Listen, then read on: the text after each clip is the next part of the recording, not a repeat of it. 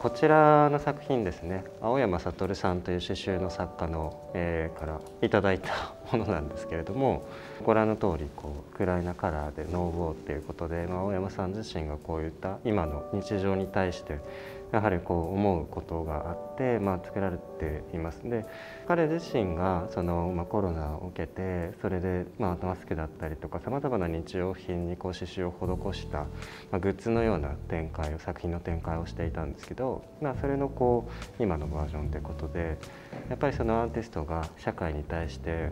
こうこうしてメッセージを打ち出したい、まあ、そういうことがこう作品の中にあるっていうこともまあ一つだなと思っていますしあの青山さんのメッセージを 僕がここで代わりにじゃないですけど見せていきたいなというところもあってちょっと本日あの持ってこさせていただきました。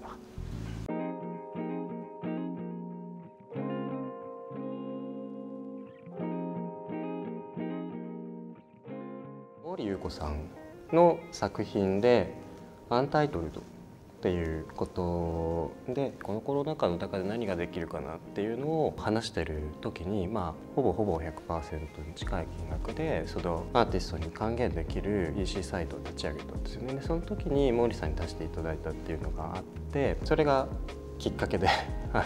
購入しました。なので2020年の5月とか6月とか、まあ、それぐらいの時期だったと思いますね。まあ、一緒にお仕事している中であの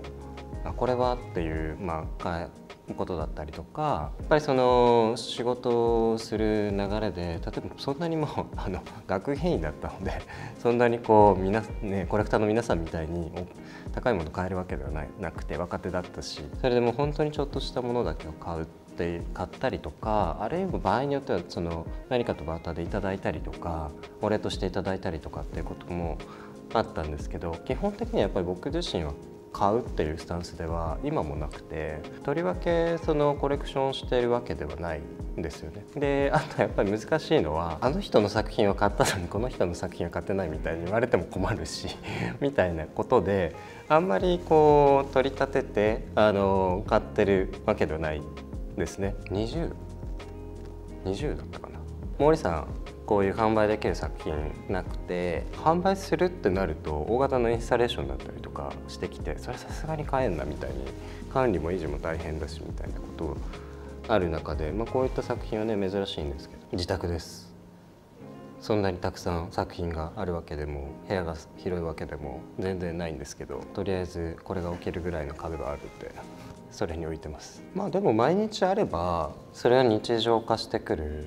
のでまあ、あるなっていうこととまあでも頭の中にはやっぱりこう何ていうんですかねリフレインされていく部分もあって、まあ、向こうも頑張ってるんだし僕も頑張ろうみたいなことを思うしそういうアーティストからもらったりとかした作品とかを見ながらもやっぱそれは思いますよね。無理して買うことはね全然必要ないと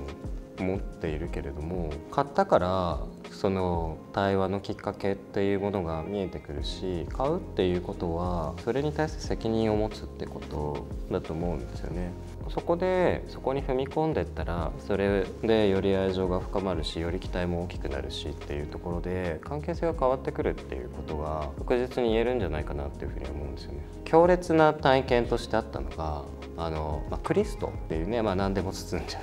あの、まあ、巨大な建造物を包んでしまうクリストがいますけどクリストが水戸芸術館で講演会をしてくれて、まあ、トークの最後に質問があって「私はあなたのファンです」でなんとかでかんとかでっていうふうに言ったんですけどクリストがそれを話を受けて「そのあなたは私の作品買ったことがありますか?」「いえありませんでは私のファンではないですね」っていうふうに言ったんですよね。でまあそれは極端だなと思いますよ。すごい思うんですけどまあでもまあクリストからすれば作品を売ることによって自分のことがやりたいことができるのでやっぱりそこに協力をしてくれている人間っていうのが初めてやっぱりそのその人の活動を支えているっていうこといかに口で素晴らしいよねっていうことよりも買うっていうこととか、まあ、その経済がついてくるっていうことがあって活動だったりとかそのいいものを作っていくことができるようになっていくのでそういう意味ではまあ、その応援するっていうことよりも、まあ、踏み込んだ関係性を例えばアーティストが始めたクラウドファンディングとかそういうことに積極的に関わるとかそういうことでもいいんですよ。アーティストのこうなんていうのこれからを考える上では買うっていうことをして、まあ、あるあるいはまあ本当にこれが良かったのかなあれが良かったのかなっていうことの瞬順とか買っていけばその自分のこう本当に好きなものみたいなものに出会っていくこともあると思うんで買うっていうことはネガティブなことじゃないと思います。